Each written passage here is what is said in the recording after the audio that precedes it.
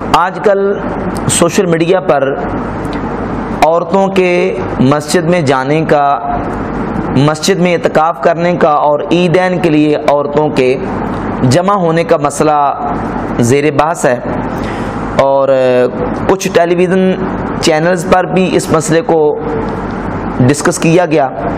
तो इस हवाले से दलाइल के साथ अहल सुन्नत व जमात अहनाब का जो मौक़ है, उसको बयान करना भी ज़रूरी है ताकि हमारे सुन्नी हजरात जो हैं, वो हमारे अहल सुन्नत अहनाब के मौक़ से आगाह हों और उनको पता होना चाहिए कि इस पर हमारे दलाइल क्या हैं। गैर मुकलदीन की तरफ़ से ये प्रोपोगंडा तो किया ही जाता है कि देखें जी, नबी करीम सल्लल्लाहु अलैहि वसल्लम के दौरे अकदस में, हजूर के ज़माना तयबा में, ख़वातीन मर्दों के साथ मिलकर नमाज़ पढ़ती थी। और जब हुजूर के दौर में पढ़ती थी तो अब भी इजाज़त पढ़नी चाहिए। एक तो ये कि जिस तरह नबी करीम सलाम के ज़माना मुबारक में ख़वातीन मर्दों के साथ नमाज़ पढ़ती थी, यानी पहले मर्दों की सफ़े होती थी, फिर बच्चों की, फिर उसके बाद ख़वातीन की। इस तरीके से सुन्नत के मुताबिक तो वह भी इसके मुताबिक अमल नहीं करते। और दावा ये करते हैं कि देखें, नबी करीम सलाम के दौर में ख़वातीन मस्जिद में आती थी। तो तुम क्यों रोकते हो? तो ये बात समझे कि हकीकत को समझना चाहिए और अल्लाह और उसके रसूल जल्ला जलालु सल्लल्लाहु अलैहि वसल्लम की तालीमात की जो असल रूह है, जो मंशा है, उसको समझने की कोशिश करनी चाहिए। इस मसले की वजाहत से पहले मैं एक छोटी सी तमहीदर मिसाल पेश करके आगे चलूँगा कि हुक्म की दो किस्में होती हैं, हुक्म सूरी और हुक्म ज़रूरी। हुक्म सूरी का मतलब यह कि जो सूरत पेश आई, उसके मुताबिक हुक्म दिया जाए। मिसाल के तौर पर जैद ने अपने शागिर्द को हुक्म दिया कि तुमने बकर की हर हालत में इज़्ज़त करनी है, उसका एहतराम करना है। बकर के बारे में जब हुक्म दिया गया जैद को तो बकर उस वक्त नेक मुतकी परहेजगार शख्स था। उस्ताद ने अपने शागिर्द जैद को कहा कि तुमने बकर की इज़्ज़त करनी है। जब हुक्म दिया गया उस वक्त बकर मोज शख्सियत था ने, नेक मुतकी परहेजगार शख्स था। अब ये हुक्म हुक्म सूरी है कि जो सूरत वाकई है उसके मुताबिक हुक्म दे दिया। और एक है हुक्म हुक्म ज़रूरी कि तुमने हर हालत में ये काम करना है। मिसाल के तौर पर उस्ताद ने अपने शागिर्द को जैद को कह दिया कि तुमने कभी भी किसी शराबी और किसी चोर की इज़्ज़त और एहतराम नहीं करना। अब हुआ यह कि वो जैद जिसके बारे में, वो बकर जिसके बारे में जैद को हुक्म दिया था कि तुमने बकर की इज़्ज़त करनी है। जब हुक्म दिया था, उस वक्त बकर मुत्तकी परहेजगार शख्स था। और कुछ अरसा गुजरने के बाद वही बकर जो है, वो एक शराबी या माज अल्लाह, वो चोर बन गया।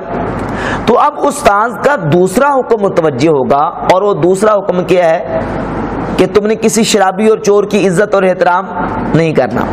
तो कोई कहे कि, देखे जी, जैद को तो उस्ताद ने ये कहा था कि तुमने बकर की इज़्ज़त करनी है तो अब जैद बकर की इज़्ज़त क्यों नहीं कर रहा? तो भाई, वो जो हुक्म था, वो हुक्म सूरी था। और चोर और शराबी की इज़्ज़त ना करने का हुक्म, वो हुक्म ज़रूरी है। पहला हुक्म हुक्म सूरी था और ये हुक्म हुक्म ज़रूरी है। उस पर उस पर अमल करना लाजमी और ज़रूरी है।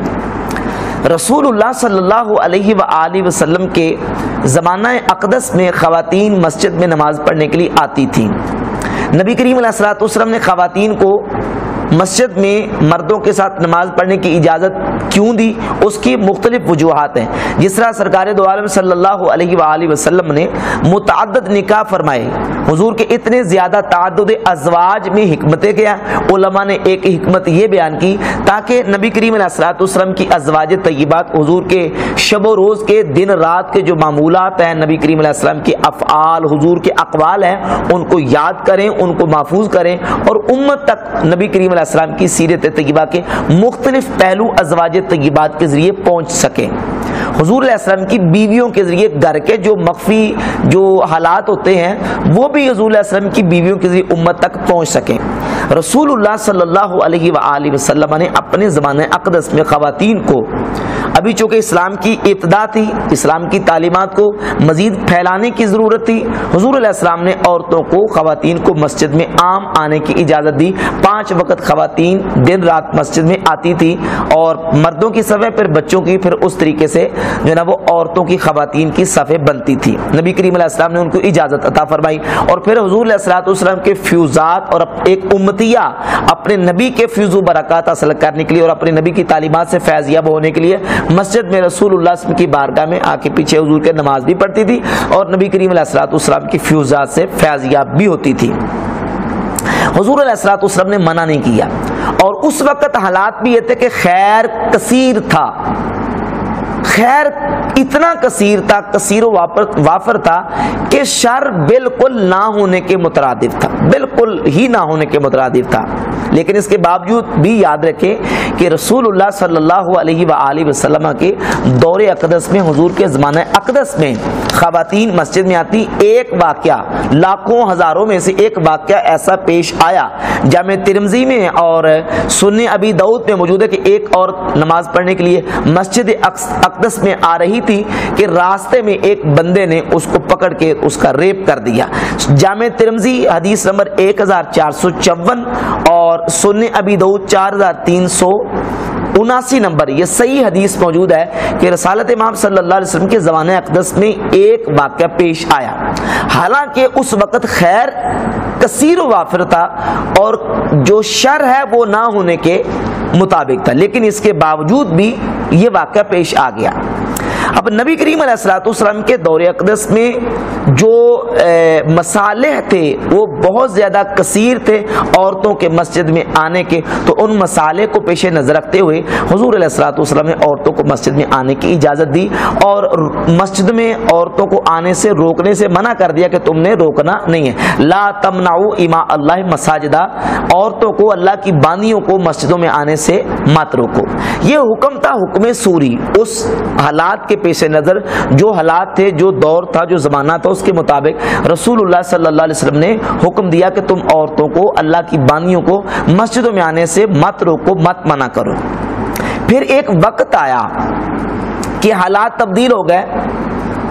नौ मुस्लिम लोग जब इस्लाम में आए और इस्लाम की सल्तनत हिजाज मुकदस से निकल कर रियासत इस्लामिया दूर दराज के इलाकों तक चली गई। हालात बदलते गए और नौ मुस्लिम लोग जब मुसलमान हुए तो इस्लाम की पूरी तालीमत से वो रूशनास भी नहीं थे और उस तरीके से उनके अंदर तकवा परहेजगारी और वो मुतकी परहेजगार लोग उस तरीके से नए आने वाले वो ना रहे। हालात बदल गए, जो खैर है वो कम होता गया और शर जो है वो बढ़ता गया। उस उन हालात को देखकर उम्मुल मुमिनीन सैदातुना आयशा सदीका रदी अल्लाह तहा ने इरशाद फरमाया, सही बुखारी और सही मुस्लिम में यह हदीस मौजूद है। मुतफ़न सही बुखारी में आठ सौ उनहत्तर नंबर और सही मुस्लिम में दो सौ अठानवे नंबर हदीस मौजूद है। सैदा आयशा तो सदीका उम्मुल मुमिनी रज़ी अल्लाह तहा ने इरशाद फरमाया कि लो अदरा का रसूल वसल्लम मा अहदत निसा लमनाहुन्ना कमा मुनियात बनी इसराइल।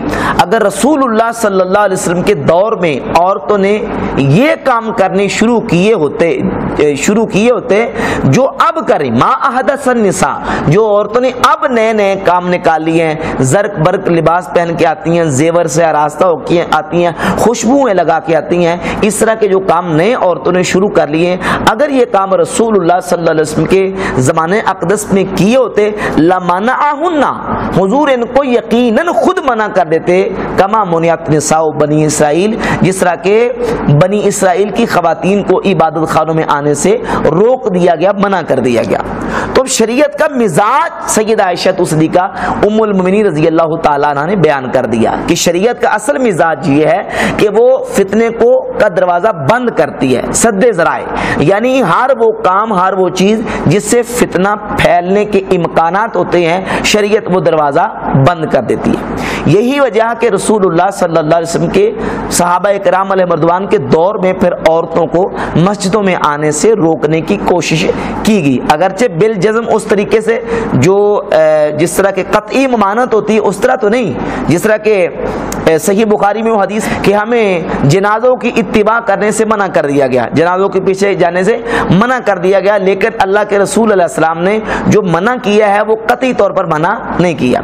तो चूँकि उस वक्त हालात भी कुछ और थे, और अब हालात सैद ऐशा रदी अल्लाह पर दौर की बात कर रही हैं कि हालात ये हैं कि जो हालात अब पैदा हो चुके हैं और औरतों ने जो काम अब करने शुरू कर दिए हैं, अगर ये काम नबी करीम के ज़माने अकदस में किए होते लमाना हुन्ना हुजूर खुद मना कर देते इनको, कमा मुनियात बनी इसराइल, जिस तरह के बनी इसराइल की औरतों को इबादत खानों में आने से रोक दिया गया।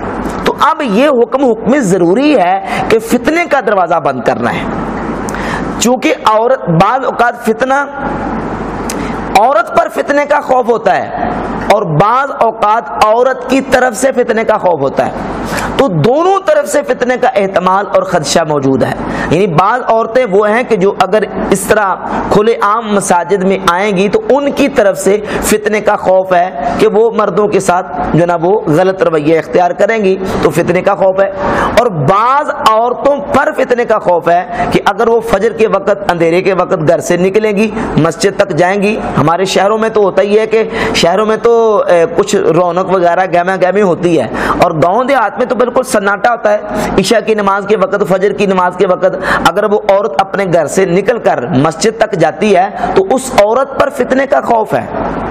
कोई भी अवारा और अबाश किस्म का बंदा जो है, वो फितने का उसको शिकार कर सकता है। तो दोनों तरफ़ से फितने का एहतमाल मौजूद है।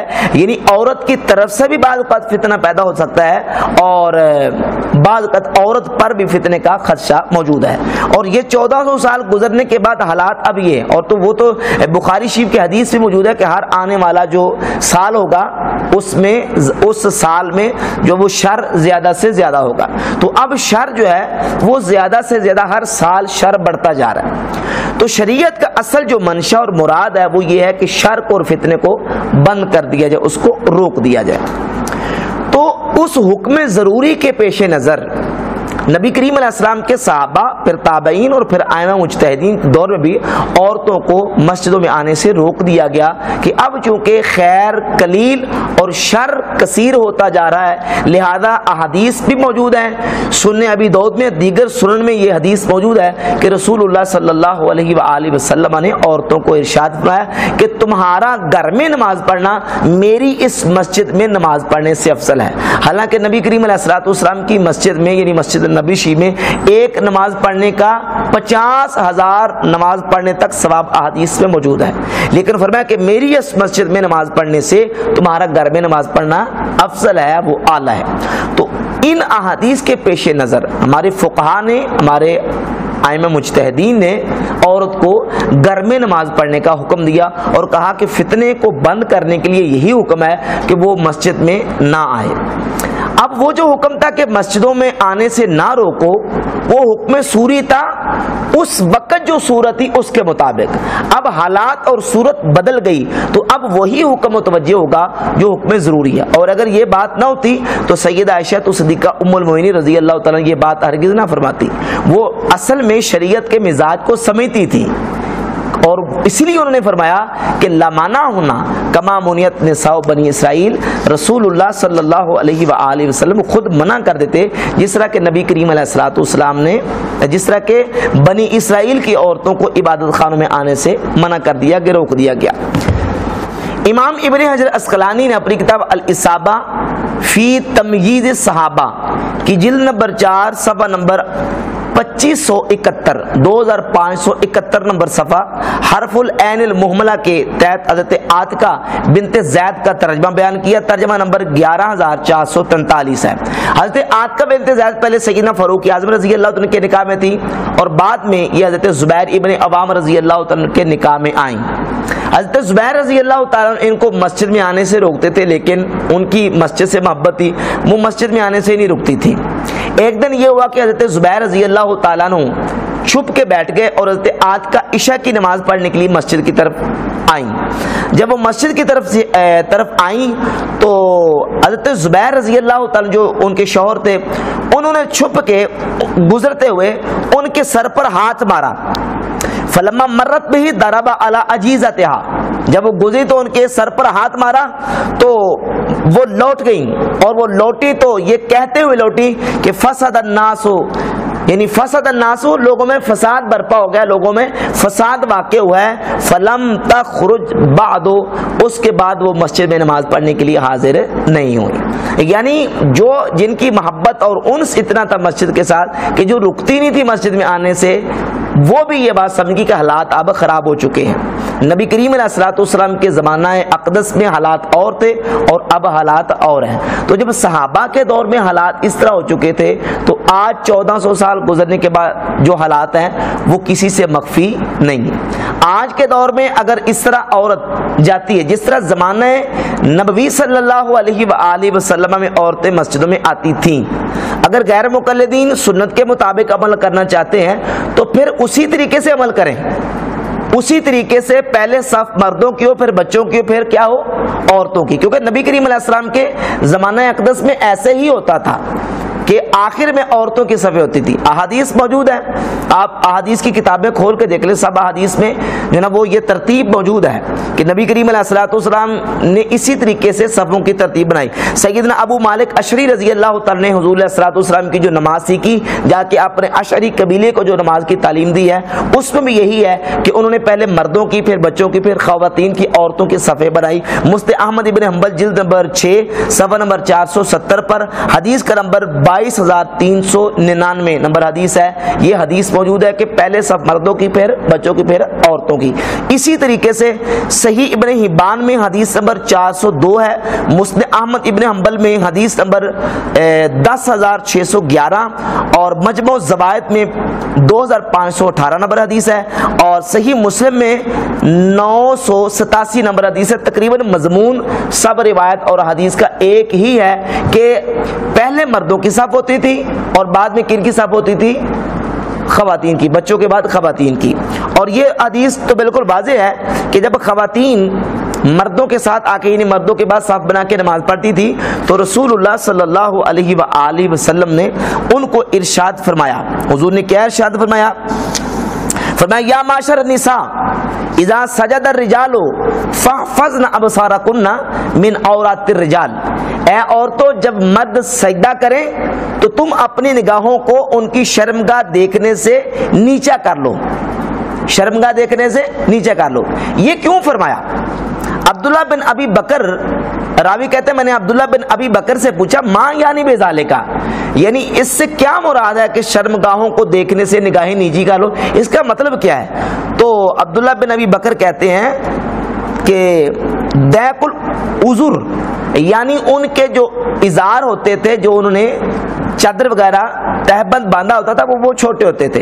हती कि सही मुस्लिम में जो है वो ये है कि अपने इजाद छोटे होने की वजह से उन्होंने जिस तरह बच्चे नहीं बाँध लेते उन्होंने अपने गर्दनों में उसकी जो गिरे दी होती, होती थी वही एक कपड़ा होता था जिससे वो अपना सतर छुपा के साहबा कराम मर्दवान नमाज़ अदा करते थे। तो जब वो सईदे जाते थे तो उनके सतर के नंगा होने का एहतमाल और इम्कान मौजूद था।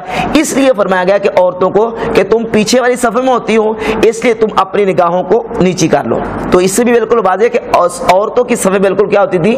मर्दों के पीछे होती थी। तो अगर तुम सुन्नत के मुताबिक अमल करना चाहते हो तो फिर अपनी औरतों को मस्जिद में मर्दों की सफ़ों के बाद सफ़े बनवाओ। हालाँकि इस तरह ये नहीं करते, बल्कि औरतों के लिए अलग पोर्शन का इंतज़ाम किया होता है, जो सुन्नत से साबित नहीं है। अगर तुम सुन्नत के मुताबिक ही अमल करना चाहते हैं। और दूसरी बात यह कि इस फितने को बंद करने के लिए जो औरत पर फितने का खदशा था, या औरत की तरफ़ से जो फितने का एहतमाल खदशा था, उसको बंद करने के लिए नबी करीम सलाम के सहाबा के दौर में औरतों को मस्जिद में आने से रोक दिया गया। जिस तरह कहते हैं, जुबैर इबन अवाम रज़ी अल्लाह का जो वाक्य अल इसाबा से मैंने सुना है, और दीगर भी इस पर दलाल मौजूद हैं। इसी तरीके से एक रवायत में और सुनाना चाहता हूँ कि जिन लोगों के दिल में कजी और टेढ़ होती है, वो फितना तलाश करते हैं।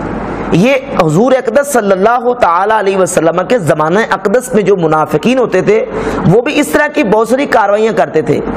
अभी जो मैं आपके सामने रिवायत पेश करने लगा हूँ, ये उस दौर की, पकीज़ा दौर की बात है कि मुनाफिकीन के दिल में कजी और टेढ़ और मर्ज होता था तो वो नमाज़ पढ़ते वक्त भी खराबी से बाज नहीं आते थे। और आज जो कि ज़माना खैर से इतना दूर हो चुका है और शर इतना फैल चुका है कि लोगों में तकवा तहारत तो बड़ी दूर की बात है, लोगों में जो हराम से बचने की जो सूरत है, वो भी बहुत मफकूद और बहुत ना, नापायद है। तो ऐसी सूरत हाल में और ऐसे जो दौर में जो है, वो औरतों को किसी भी फितने के हाथ चढ़ाने की इजाज़त नहीं। अब वो वो वाक्य क्या है? वो वाक्य हदीस की मौत पर किताबों में मौजूद है। और इमाम तिरमजी रहमत जाम तिरमजी की हदीस नंबर 3122 लेके आए हैं। इमाम इबन माजा हदीस नंबर एक हज़ार छियालीस लेके आए हैं। सुन्य निसाई में इमाम निसाई ने इसको आठ सौ सड़सठ नंबर रिवायत लेके आए और एक नुस्खे में आठ सौ सत्तर नंबर रिवायत भी है। इस रवायत को इमाम हाकिम ने भी सही करार दिया, इमाम तिरमजी ने भी सही इसको माना है और अहमद शाकिर गैर मुकलद ने भी इसको सही माना है। मुस्त अहमद इबन अम्बल की जो तालीकात है उनकी, उसकी जिल्द नंबर दो सफ़ा दो सौ अठहत्तर पर। और नासरुद्दीन अलबानी ने असलसलतुलसहिया हदीस का नंबर है दो हज़ार चार सौ बहत्तर पर इसको सही माना है कि नबी करीम वसल्लम के ज़माना है अकदस में जब औरतें मर्दों के साथ आके नमाज़ अदा करती तो जो मुनाफिकीन थे, वो क्या करते कि पिछली सबों में आने की कोशिश करते। सैदना अब्दुल्ला बिन अब्बास रदी अल्लाह फरमाते हैं, हदीस नंबर तीन हज़ार एक सौ बाईस है तिरमजी की। कानत इमरतुन तसली खलफा रसूल सल्लल्लाहु अलैहि वसल्लम। एक औरत नबी करीम के पीछे नमाज़ पढ़ती थी, हसना मिन अहसन नास। यानी बड़ी खूबसूरत थी, अल्लाह रब्बुल इज़्ज़त ने उसको बड़ा हुस्न जमाल दिया हुआ था, बड़ी खूबसूरत थी। तो वो औरत रसूलुल्लाह सल्लल्लाहु अलैहि वसल्लम के पीछे आकर नमाज़ पढ़ा करती थी।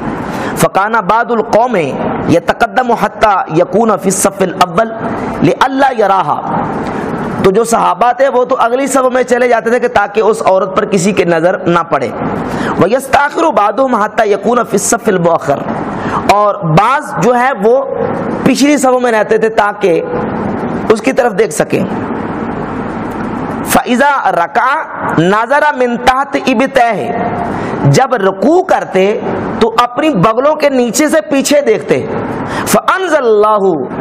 वलकद आलिम नल मुस्तकदमीन मिनकुम वलकद आलिम नल मुस्तखरीन कि अल्लाह जानता है, तुम में से जो मुस्तकदमीन आगे रहने वाले हैं, और तुम में से जो पीछे रहने वाले, अल्लाह उनको जानता है। अल्लाह उनके दिलों के हालों को जानता है। तो ये वाक्य इमाम तिरमजी ने, इमाम इबन माजा ने, इमाम नसाई ने, बड़े बड़े जलील कदर मुहदसी ने बयान किया। अल्लाह रबुल इज़्ज़त ने ये आयत नाजल फरमाई। तो जिनके दिलों में मर्ज और टेढ़ होती है तो वो नमाज़ में भी इस तरह की खराबी से बाज नहीं आते। तो अब हालात क्या है? अब दौर किस तरह का है और शर अब किस तरीके से फैल चुका है, कितना ज़्यादा शर हो चुका है, ऐसे दौर में और ऐसे हालात में औरत जो कि खुद फितना फैलाने वाली है या औरत पर कोई फितना वाक़ा वाक़ होने वाला है, हर हालत में औरत को फितने से बचाया जाएगा और उसका यही महफूज तरीन ज़रिया है कि औरत को घर में नमाज़ पढ़ने की तरकीब दी जाए और मर्दों के साथ मस्जिद में और मर्दों के साथ इख्तलात की उसको इजाज़त ना दी जाए। जबकि हदीस भी इस पर मौजूद है कि सल्लल्लाहु वसल्लम की हदीस है कि औरत का घर में नमाज़ पढ़ना मेरी इस मस्जिद में नमाज़ पढ़ने से अफजल आला है। तो उस हुक्म ज़रूरी के मुताबिक हमारे फ़ुक़ अनाप आल सुनत मजमात के आयमा ने फैसला किया। बेहमद ताला, जो कि शरीयत का असल मंशा और जो शरीयत की सही मुराद है। अल्लाह ताला में समझने की और अमल करने की तोफ़ी